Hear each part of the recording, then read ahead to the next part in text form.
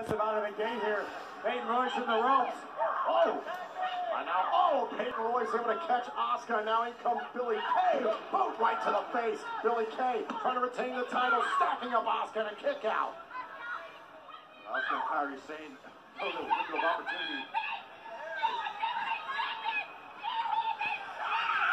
Oh, oh, Billie Kay, what a kick by Asuka. Big mistake.